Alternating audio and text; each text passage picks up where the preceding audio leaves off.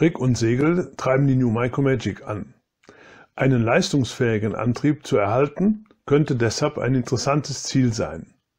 Eine Rig-Variante, die mit anderen Materialien und Beschlägen ausgestattet ist, zeige ich euch deshalb heute.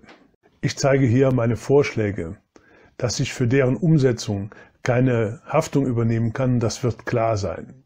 Hier einige Rigs, die ich für verschiedene Segel gebaut habe. Einen angepassten, leistungsfähigen Antrieb zu erstellen, ist ein Ziel. Ein Rig, auf dem die Drehachse des Großsegels in der Mastmitte liegt, ist ein weiteres. Der Rigbau ist kein Hexenwerk, wenn man sich die nötigen Materialien und Beschläge besorgt oder gebaut hat. Und sind Mast und der Großbaumbeschlag dann erstellt, sind die weiteren Arbeiten identisch mit jenen, die in den Videos Hacker Rig und Hacker-Segel für das Hacker-Standard-Rig behandelt werden. Bitte schaut dann mal dort rein. Erste Entscheidung bei der Materialbeschaffung. Welcher Mastdurchmesser soll verwendet werden? Es gibt eine gewisse Auswahl an CFK-Rohren, einen Teil seht ihr hier. In diesem Video zeige ich einen Rigaufbau mit einem CFK-Rohr von 6 mm Außendurchmesser. Dieses recht stabile, biegesteife Rohr verwende ich gerne. Für diesen Durchmesser kann man einige geeignete Beschläge kaufen. Aber eine eigene Herstellung von Beschlägen ist auch möglich, wie man beispielhaft an diesem Bild von Greg Norris sehen kann. Auch Großbaumbeschläge kann man selbst anfertigen, hier ein solches Exemplar aus CFK-Matte laminiert.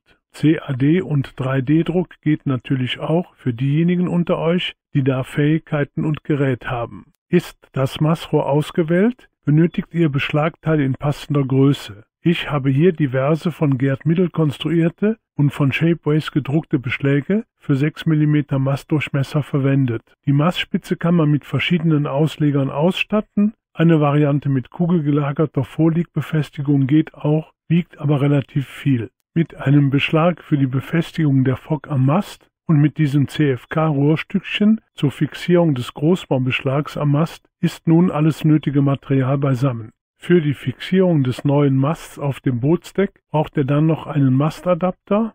Hier seht ihr Fertigteil und Eigenbau. Es kann also endlich mit dem Mastbau losgehen.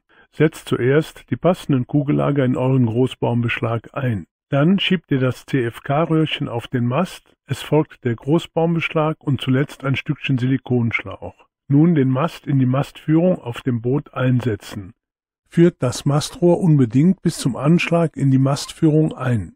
Verschiebt das Stück Silikonschlauch so, dass die Unterseite des Beschlages genug Abstand vom Deck hat, circa 5 bis 8 mm reichen aus.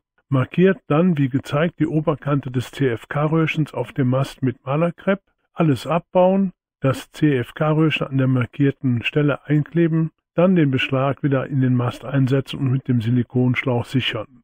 Mast auf eine Arbeitsfläche legen und das Segel passend anordnen, damit ihr die erforderliche Mastlänge wie in der Skizze gezeigt ausmessen könnt. Das Großsegel so im Rig ausrichten, dass sein Unterlieg einen Abstand von 10 bis 15 mm vom Großbaum hat. Der Abstand vom Segelkopf bis zum Mastausleger oben sollte ca. 2 cm betragen. Markiert die Stelle, wo der Mastausleger einzubauen ist, Segel weglegen und Mast an der Markierung abschneiden. Da wir hier mit CFK-Material arbeiten, bitte mit einer wirksamen Maske und oder einer Absaugvorrichtung arbeiten. Der CFK-Stoff ist gesundheitsschädlich und darf nicht eingeatmet werden. Nun den Beschlag für die Fockbefestigung auf dem Mast aufschieben. Diesen Beschlag nicht verkleben. Der Schritt erfolgt erst nach dem Einbau der Segel ins Rig. Zuletzt den Mastausleger oben im Mast einsetzen und verkleben. Mit diesem Bild greife ich ein wenig vor, doch euer Mast mit dem Großbaumbeschlag ist jetzt bereit für den restlichen Rigbau und den Einbau der Segel. Die Arbeiten unterscheiden sich trotz geänderten Großbaumbeschlags nur in Details von denen, die in eingangs genannten Videos beschrieben werden. Ich hoffe,